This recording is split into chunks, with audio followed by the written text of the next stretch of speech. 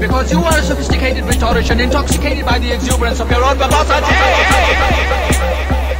My name is Gonzalez. On your feet, faggot!